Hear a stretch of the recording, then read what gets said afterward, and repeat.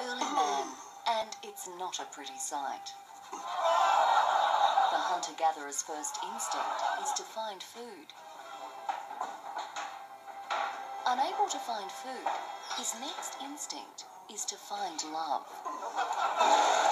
After failing to find love, he returns to finding food. Any food. Luckily, someone's thinking. Amazing. Neolithic to modern man in the time it takes to eat a bowl of cornflakes. And just as amazing, modern man to Neolithic in the time it takes to pass wind.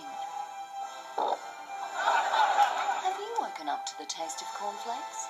Sure you have. But have you woken to the smell of early?